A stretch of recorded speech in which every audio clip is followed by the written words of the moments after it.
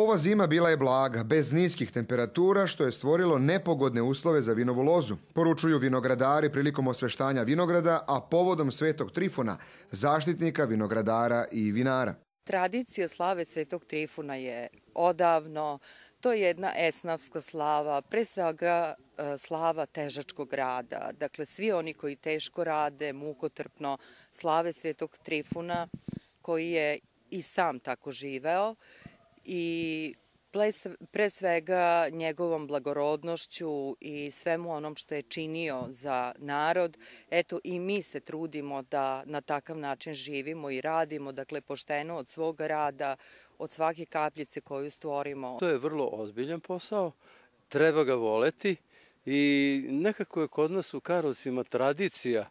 Bili su stari vinogradari, pa i mi s kolena na kolena nastavljamo da budemo vinogradari. To je nekako kod nas, nekako u krvi je to kod nas. Kakvu godinu očekujete, uh, s obzirom da evo vidimo da je, da je pre svega visoke su temperature, dakle kako to sve utiče na vinograd? Pa ona godina iza nas je mogla biti malo bolja, iz razloga što smo u toku leta imali dosta visoke temperature, a kad je došlo do berbe, tu su malo temperature opale i kiša padala i šta znam, pa smo morali malo berbu da sačekamo, a ponekad nije dobro, pošto bela grožđa hoće da hvata botritis. Ali dobro smo ipak uspeli, ali kažem, to nam je bio malo problem.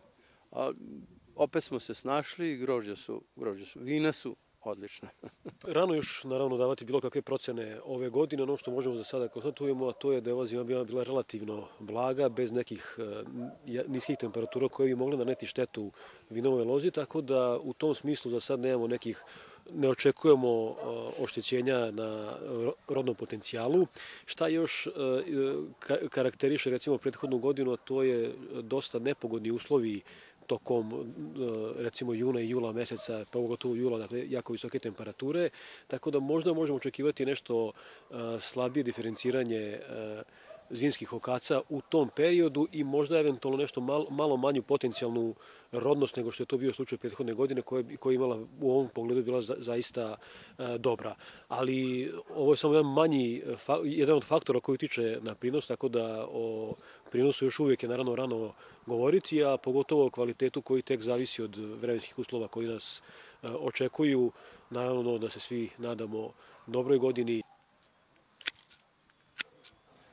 Zvuk makaza na današnji dan na Svetog Trifuna čuje se u gotovo svim vinogradima u Srbiji.